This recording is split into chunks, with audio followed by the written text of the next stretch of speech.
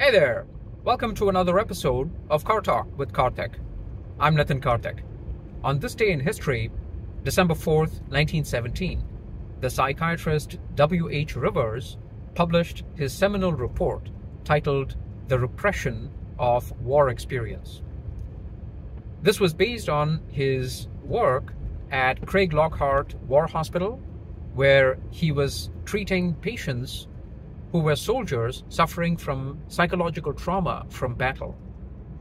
One of the key concepts discussed in his report is that of shell shock, which affected 80,000 soldiers during World War I. How can this notion help us in our work lives? Shell shock is better known by its modern name, which is post traumatic stress disorder or PTSD. And its modern manifestation is in the workplace is typically burnout.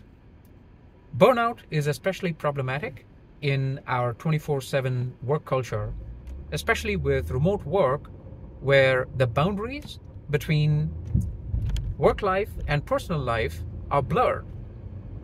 To illustrate, I'll give you an example.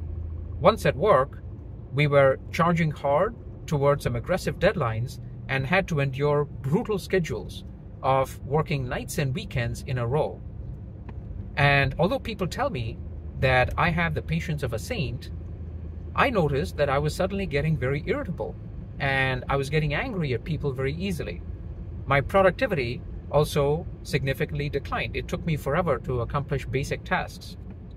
When people told me about this change in demeanor that they were noticing, I took actions to address the issue before it became a real problem. The next time you see coworkers getting unusually irritable, or if you see their productivity suddenly decline, think about it. They may be suffering from burnout. Give them an opportunity to recharge. After all, there's no point in killing the goose that lays the golden egg. So there you have it, folks. Think of it this way in the marathon of life, burnout signals the need for a pit stop so that we can avoid a permanent halt. Armed with that knowledge, onward and upward, my friends.